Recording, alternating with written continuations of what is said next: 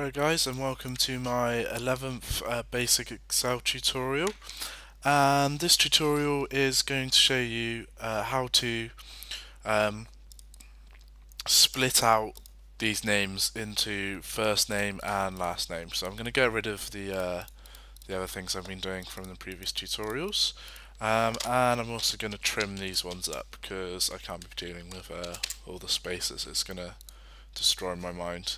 Um, one quick tip is if you copy and paste and click on this then you get a variety of different ways you can paste it.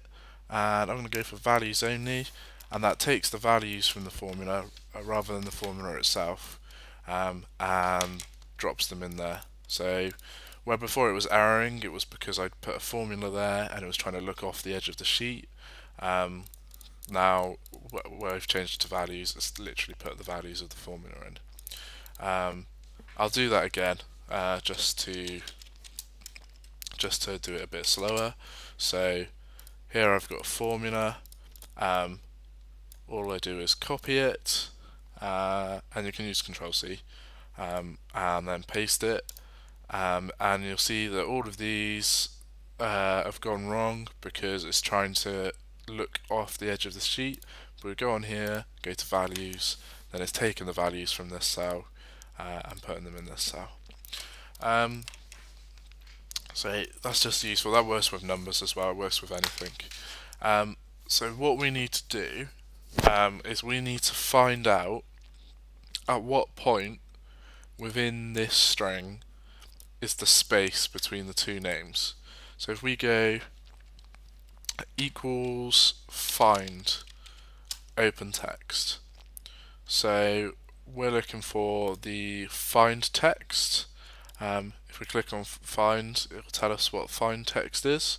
Um, so this is the text you want to find. Uh, fairly obvious, really. Um, so, uh, and again, you put it in. Uh, I've forgotten what they're called. Um, inverted commas, speech marks whatever you want to call them. Um, I'm going to call them speech marks uh, because the actual word for them's gone out of my mind completely. Um, and then the within text is the string that you're looking for. So let's click on here. And start num is the number to start at. So say we started at put in 10, it would start looking from the 10th character. So we go 1, 2, 3, 4, 5, 6, 7, 8, 9, 10. But we don't want to do that um, and you, you can leave it out anyway and it will just search from the beginning. Um, so this is saying 8. So 1, 2, 3, 4, 5, 6, 7, 8. Boom, found it. Okay. And drop that down and it tells you exactly where the space is. Um, so you may be thinking, well, what use is this to me? This is just telling me where the space is in your string. Well, um, there's another formula that we're going to use next. So let's just name this column. So space position. And always get into the habit of uh, naming your columns. And when we come to sorting and uh, filtering columns, uh, you'll understand why.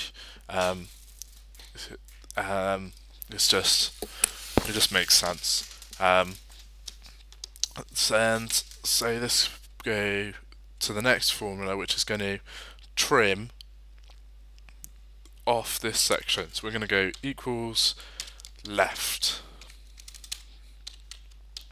And then this takes two parameters, the first one being the text that you want to trim, and then the second one being the number of characters that you want to trim. So if we click on 8, close bracket, um, and enter. But what this is going to have done is this is going to have given us the space as well. Um, so we go minus 1 and then this that gets rid of the space. We drop this down and there we have it we've got all of the um, all of the uh, first names from our string. Um, so there we go, first name. The next thing we want to do is take the take the right hand side of the string. So that's equals right. And again, you just select the text. And then for the number of characters, we can't use 8 because this is number of characters from the right hand side.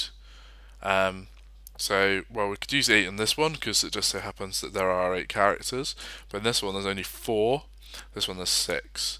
So it, it doesn't equal that number. So what we're going to have to do is take the entire length of the text, which is used, which you use len to get. So len open bracket, select the text again, and that will give us the length.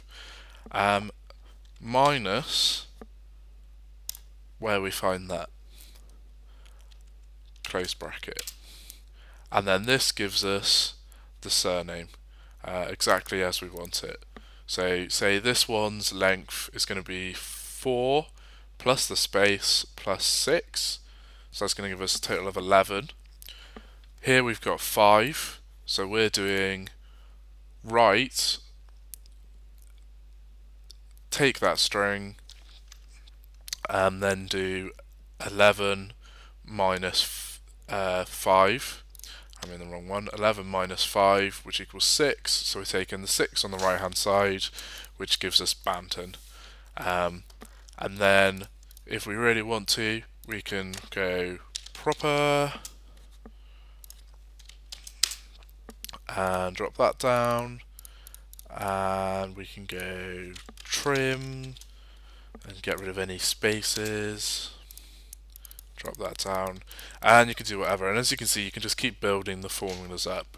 Um, and then if we want to just knock these back together again, let's check in another column. Um, rename this one, surname, full name, and then we go full circle and just goes equals first name, uh, ampersand, uh, double quotes, ampersand and surname. The reason for the double quotes is just to add a space into the middle and that gives us the full name back again. So and then this one now equals that one um, exactly. So that's it for now on uh, dealing with uh, text strings. Um, thanks for listening and I hope to catch you in the next tutorial.